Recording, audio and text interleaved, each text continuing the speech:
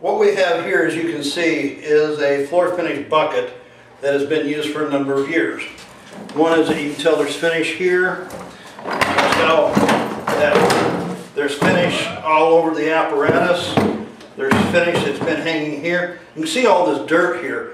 If you're laying floor finish on floor and this is the results of your cleaning tools to lay your finish, you can see the finish that's stuck to the bucket here. It's flaking off, as you can see. This is what's getting into your floor finish that you've been laying.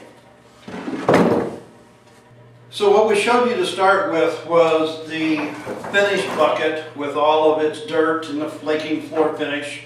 Normally what you would have had is you would have had floor finish sitting in the bucket after several hours of work. And that finish that would have been left in this bucket would have been uh, gray, not white.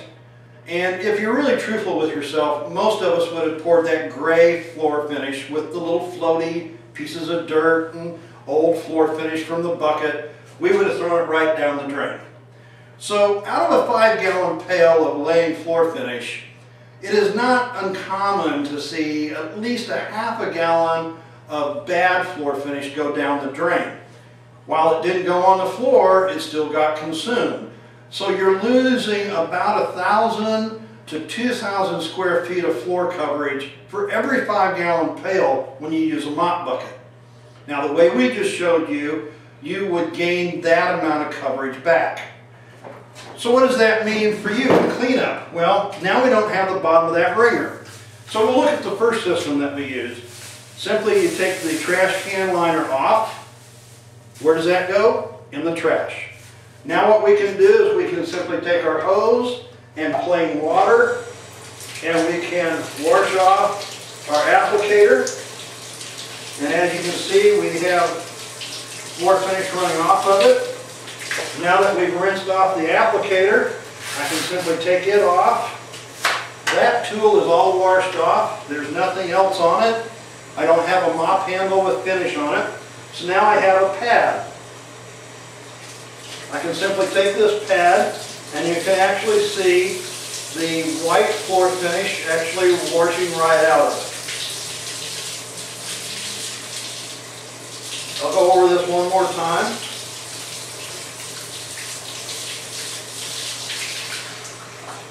Now what I can actually do is I can actually just take this and fold this, wring it out,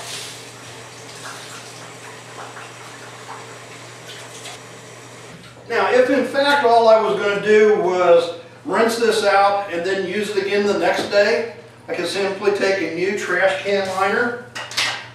I could put this into a new trash can liner and reuse it the next day. You could do this every day for several days. If in fact I was going to actually save this and use this again next year or say next month, I could actually take and rinse this out a few more times. These are launderable, but you don't need to. If you simply rinse this until there's no white coming out of it, it's good to go. The second system, we would do something similar to that, but you notice that we had already disconnected the head from the handle. So in this case here, I can simply take this whole thing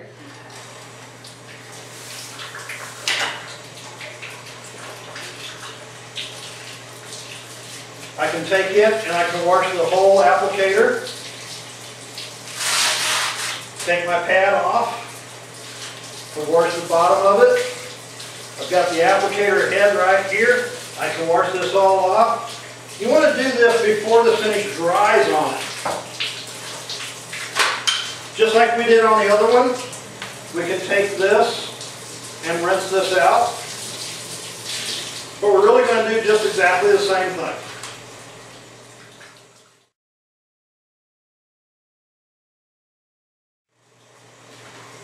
We have our water. We can simply add it to the bag.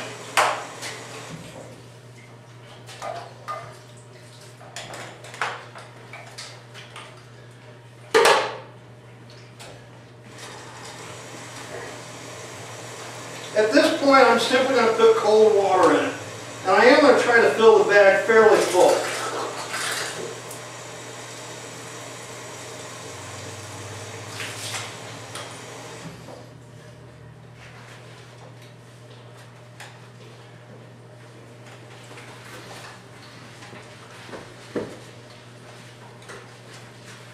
Now what I'm going to do is I'm simply going to hook it up just like we had before.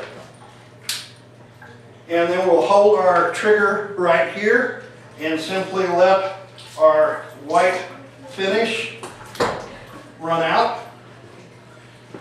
You can see we're starting to get some air bubbles here, but you also notice that my, my liquid here never turned clear. So what I'm going to do right now is I'm going to put some more water into my bag.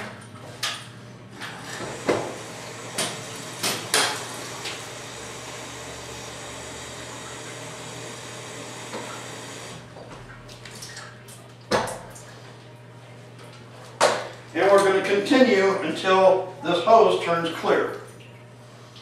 One of the tricks, and please, please understand what I'm saying here, do not run all the liquid out. When I disconnect that, do not hit the button and run all the liquid out of the hose. I want that liquid to stay in the hose. Here's what you do not do. Do not disconnect this and then run the little excess. Well, not much came out at that time. But don't, you see the drips coming out of there? Don't do that. You want water to be running there and disconnect this and do not punch that button again. We want that water to stay in here. Now, we have two options.